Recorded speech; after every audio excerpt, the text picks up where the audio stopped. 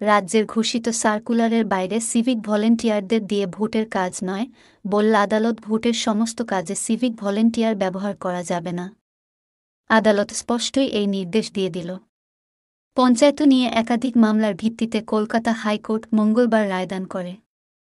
সেই রায়ের ভিত্তিতেই বলা হয়, সিভিক ভলেন্টিয়ারদের ভোটের কোনো কাজে ব্যবহার করা যাবে না, সব কাজে।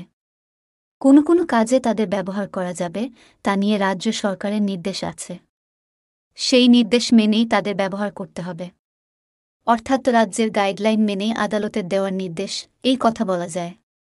পাশাপাশি বলা হয়, কেন্দ্রীয় বাহিনী পাওয়া না গেলে রাজ্যের পুলিশ পর্যাপ্ত পরিমাণ নিরাপত্তার ব্যবস্থা করবে। এর আগে নির্বাচনের বিভিন্ন কাজে সিভিক ভলেন্টিয়ারদের উপস্থিতি নিয়ে সরব হয়েছেন বিরোধীরা।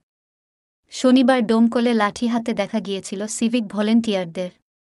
ডোমকলে মনোনয়ন জমা দেওয়া নিয়ে অশান্তির মধ্যেই ঝামেলা সামলাতে দেখা যায় সিভিক ভলেন্টিয়ারদের। তাই নিয়ে সরব হন অধীর চৌধুরীও। এছাড়া এর আগেও হাইকোর্টের স্পষ্টই রায় ছিল, আইনশৃঙ্খলা রক্ষার কাজে ব্যবহার করা যাবে না সিভিক ভলেন্টিয়ারদের।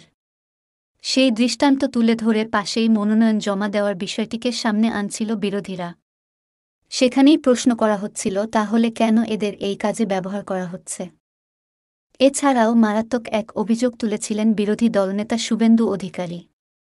যদিও এই সমস্ত আক্রমণকে বিশেষ পাত্তা দিতে চায়নি তৃণমূল।